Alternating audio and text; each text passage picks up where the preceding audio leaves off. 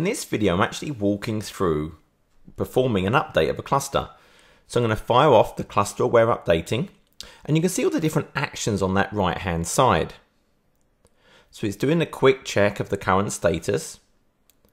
And now what I'm going to actually do is do a check to see, well, what patches are available.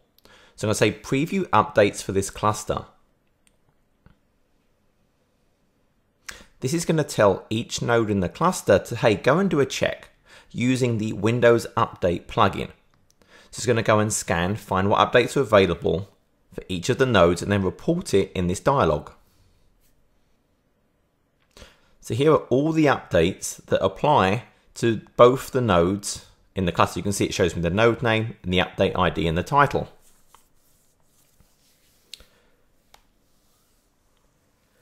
So I'm going to apply them. So I click apply updates to this cluster action and it's just going to use the existing settings I've already configured using the self-updating. It's showing me the PowerShell so I can copy and paste this somewhere else if I want to use it in the future in my own scripts or orchestrator and then run update. So I can monitor it now through this screen or I can close this opening up on another box to check what's actually going on.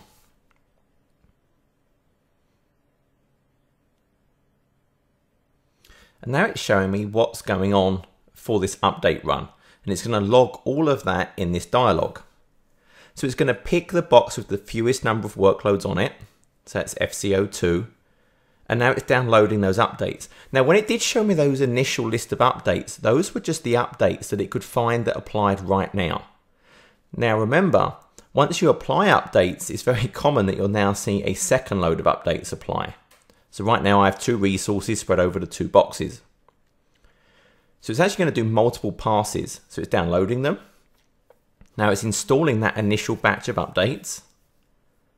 It's putting the box in maintenance mode, which means it's going to have automatically moved that workload between the boxes.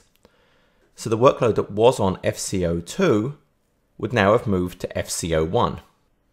And there we can see that's happened. So it's put into maintenance mode, moved all the resources off, applying the patches. Now it's going to restart. I'm actually going to bring this tool up on the other node now. So now I'm on the other box. You can see it's basically kicking off the log from when I initiated this instance of the cluster aware updating wizard. I can see that node is still down, it's rebooting and the roles are still going to be sitting on FCO1. So now because the FCO2 is back up and running, but it's paused, it's not used, it's not being used for cluster workloads yet because it's in, installed those initial batch of updates. Now it's going to scan again. It's going to say, well, are there any others that now apply because I installed those other ones? And yes, there are. So it's downloading them. It's going to repeat that process again. Downloading them, then it's going to install them, then it's going to reboot, then it's going to scan again. And only when it finds no more patches that apply will it now say, okay, I'm done. So it's going to reboot the machine. You can see it's gone down again. Now you can see it's back up. We're going to see it perform the scan, but this time it won't find any more updates. It's gone through twice. So it's scanning for updates. And it's not found any. So it's taking it out of maintenance mode. It's saying the update run completed successfully on that box. Now it's going to go on. It's moving the coordinator for the cluster aware updating to that box so it can now download updates on FCO1. Now what it would have done is moved that service back, that resource that it moved off of FCO2 to FCO1, it would have put it back. So you can now see it's back to FCO2, so it, so it fails it back. Now it's going to repeat that process. It's going to download them. It's going to now put it into maintenance mode to FCO1. So it would have moved the resource that was on FCO1 to FCO2. So we can now install, reboot, and so on. So once again, if we go and look at the roles, we'll now see they're all on FCO2. But again, once this node finishes, it'll move that resource back to FCO1. But it's doing it all for us. We're not doing anything. And now this will just carry on. And it's going to probably run it twice because it's the same patches that applied to FCO2. So it's shutting it down. And what I've actually done is I've opened this to on my local machine so I can just keep track of this while it's running So now it's all finished. So This is my local version. You can see it scanned twice. It restarted it, then it scanned a third time. There were no more updates. So it's finished. The updating run was successfully completed on both nodes. And the role was moved back. So now that first one is back on FC01. I can check there's no more patches.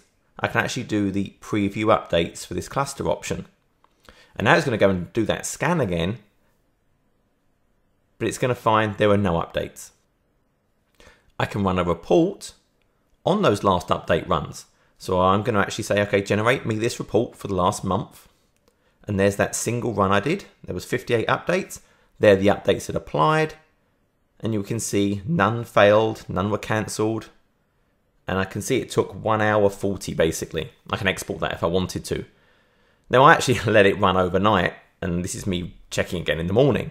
Now imagine this was a 64 node cluster. Maybe it takes a day to run. So this is really where the power of this comes. I mean, there were no actions performed during this on my part. I triggered it to run and nothing else.